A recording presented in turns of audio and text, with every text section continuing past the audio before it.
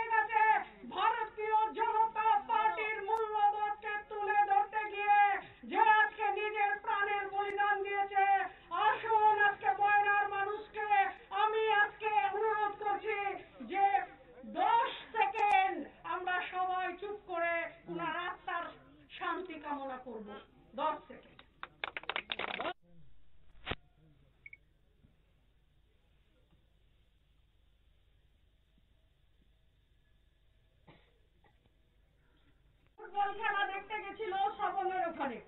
Football খেলা দেখতে যাওয়ার পরে ওখানে ষড়যন্ত্র হয়, গভীর ষড়যন্ত্র। সেই ষড়যন্ত্রের শিকার হয় এই বাচ্চার দীপক মন্ডল এবং বাইক করে এসে প্রথমে মারধর করে, তারপর যখন দেখে এখনও বেঁচে আছে, তখন বোমা চার্জ করে একে মারে।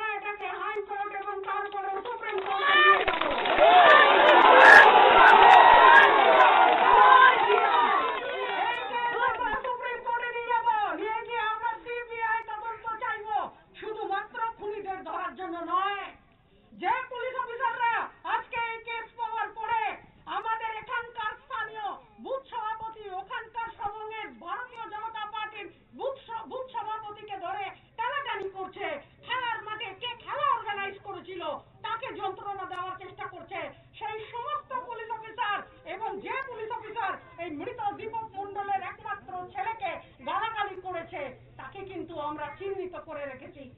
এবং আমরা খুব শীঘ্রে সিবিআই তদন্তর জন্য কৌতে মুখ করব। আমি এখানে দাঁড়িয়ে বলে যাচ্ছি, আপনাদের আপনারা দেখতে পাবেন। এই ঘটনা কোন জায়গা থেকে কোন জায়গায় ভারতীয় জনতা পার্টি নিয়ে যায়? দিনের পর দিনের পর দিন মানুষকে গাছে ঝুলিয়ে মারছে, বলছে নাকি সুইসাইড করেছে। যখন বামফ্রন্ট ছিল, তারা পুঁতে দিত, মাটিতে পুঁতে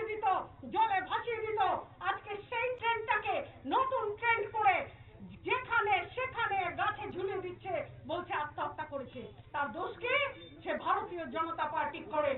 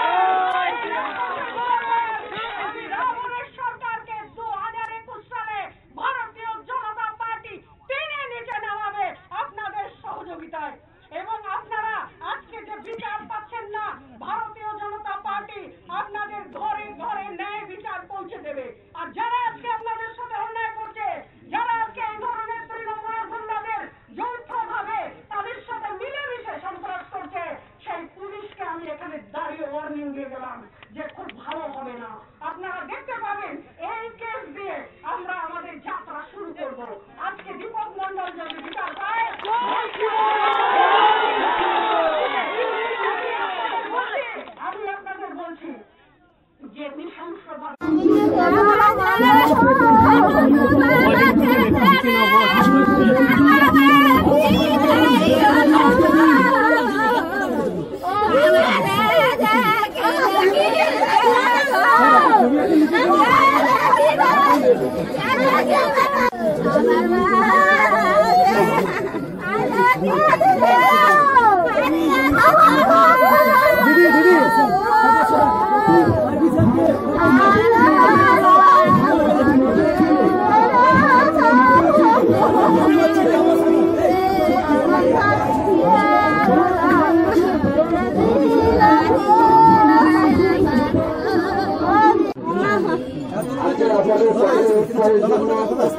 একটু একটু বের করো না একটু দাদা বৃষ্টি পড়ে দিচ্ছে এখানে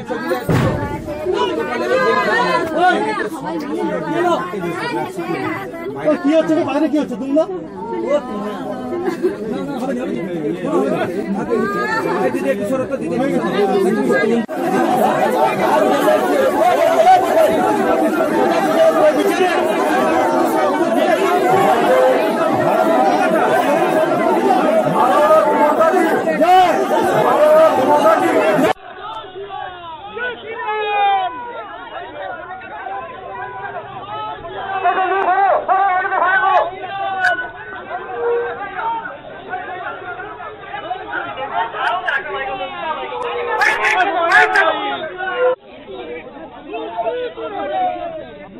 একটু চাপো চাপো চাপো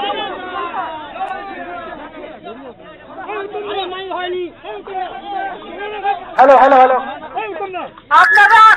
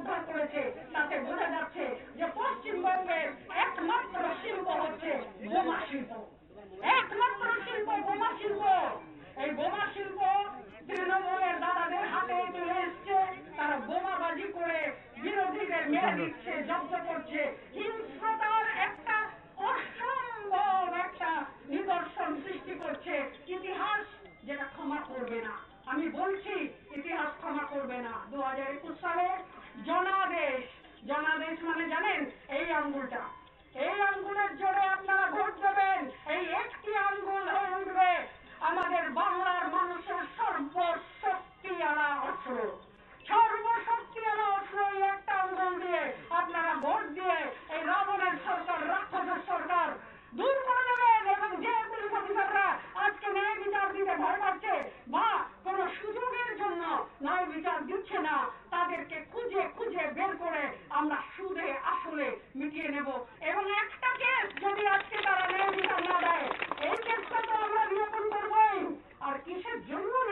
দেননি আরেকটা কেস করব।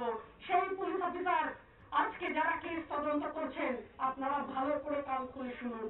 আমি অনেকদিন পুলিশে ছিলাম। আমি কিন্তু জানি সাথে সাতটাংশ সমাচারে কি করে করতে হয়। ভালো করেই জানি। এই দীপক মন্ডলের কেসে আপনারা যদি যাদের নামে এফআইআর হয়েছে, না যদি ধরেন, তিন দিন। আজকে থেকে শুধু তিন দিন। চার দিনের দিন আমরা কিন্তু কোর্টে যাব এবং এটা সিবিআই তদন্ত চাইব।